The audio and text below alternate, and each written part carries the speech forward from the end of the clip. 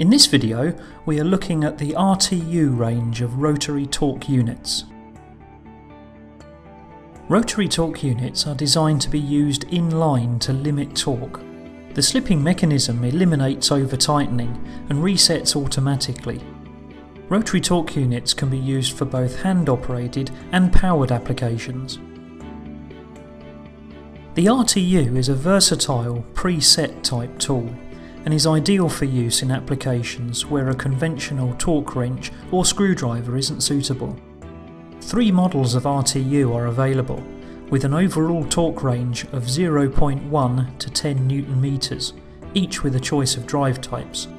The 3 8 square drive unit is ideal for use with sockets and extensions.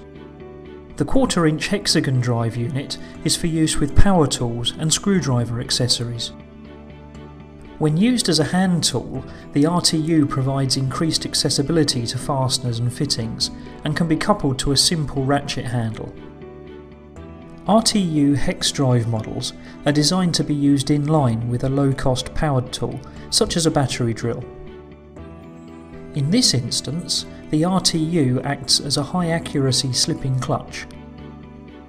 Torque adjustment is made using either an analog or digital torque analyzer in this case a Torqueleader ET Cal model. Removal of the dust cap reveals the adjusting screw. This is simply rotated using a hexagon key until the correct value is shown on the analyzer.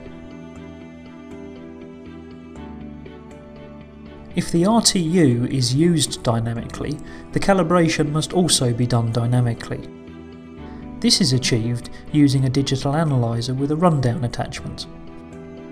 In addition to the models shown here, higher torque models are available to special order.